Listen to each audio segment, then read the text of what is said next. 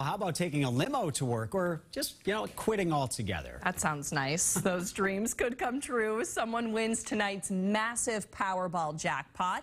WBZ's Katrina Kincade is live in Allston with all of the lotto fever, Katrina.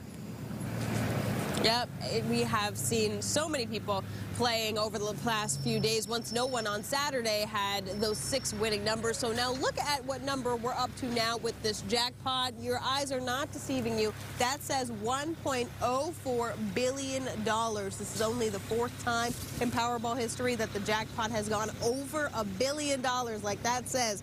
Last time that that happened was earlier this year, actually, when someone from California won the $1.08 billion prize, and that was the last time someone won the grand prize this year before right now. Now, although no ticket matched all six numbers on Saturday, some players did win smaller prizes after purchasing tickets with partial matches.